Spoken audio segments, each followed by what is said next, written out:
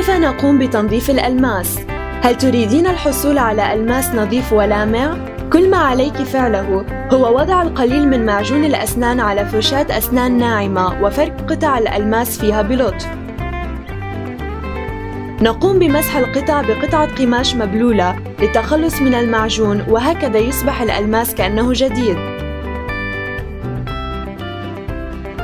هل تعلم أن كلمة ألماس مشتقة من الكلمة اليونانية أداماس والتي تعني الصلابة والقساوة؟